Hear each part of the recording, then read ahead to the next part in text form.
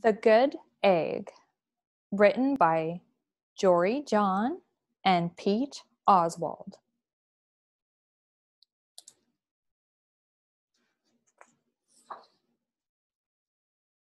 The Good Egg. Oh, hello. I was just rescuing this cat. Know why? Because I'm a good egg. A very good egg. It's true. I do all kinds of good things, like I'll carry your groceries, I'll water your plants, I'll change your tires, I'll paint your house. If you need any help whatsoever, I'm your egg. I've always been a good egg. It's been this way from the start, even in my earliest days. Back at the store, there were a dozen of us living together under one recycled roof. There was Meg and Peg and Greg and Clegg and Shell and Shelley and Sheldon and Shelby and Egbert and Frank and other Frank. The other 11 eggs weren't on their best behavior. They weren't exactly good. They ignored their bedtime. They only ate sugary cereal. They threw tantrums. They cried for no reason. They broke their stuff on purpose. Meanwhile, I tried to take charge. I tried to fix their bad behavior. I tried to keep the peace because I was a good egg, a very good egg. Nobody seemed to care though. Every night I was exhausted. My head felt scrambled.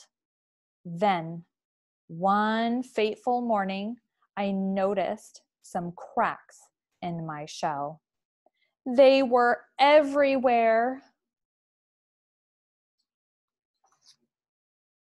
My doctor said it was from all the pressure I was putting on myself the pressure of making sure everybody was as good as me. I was cracking up. Literally, something had to change. I've had enough. I told Meg and Peg and Greg and Clegg and Shell and Shelly and Sheldon and Shelby and Egbert and Frank and other Frank that I was leaving. I can't be the only good egg in a bad carton, I said. Blah, blah, blah, they replied. I left that night. I wandered from town to town. The hours became days. The days became weeks. I lost track of time. I was alone. Out there on the road under the stars, I really tried to focus on myself and what I needed. I took walks, I read books, I floated in the river, I wrote in my journal, I found simple moments to be quiet. I breathed in, I breathed out. I even started painting. For once, I found time for me. And guess what? Little by little, the cracks in my shell started to heal. My head no longer felt scrambled. I started to feel like myself again. So I've made a big decision. I'm returning to my old carton and my friends. Besides, I'm kind of lonely out here. This time, I know what I need to do. I'll try not to worry so much. I'll be good to my fellow eggs while also being good to myself. Here we go. Everybody missed me. I missed them too. Welcome home. Hello, Meg. Howdy, Peg. Hey, Greg. Greetings, Clegg. What's up, Shell? Aloha, Shelly. Ayo, Sheldon. Hi, Shelby.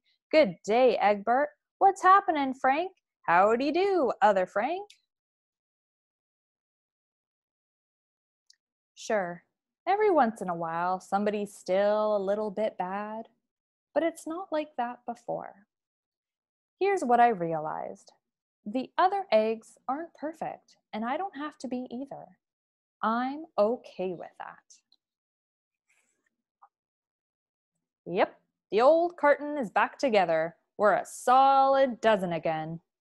It's good to be home.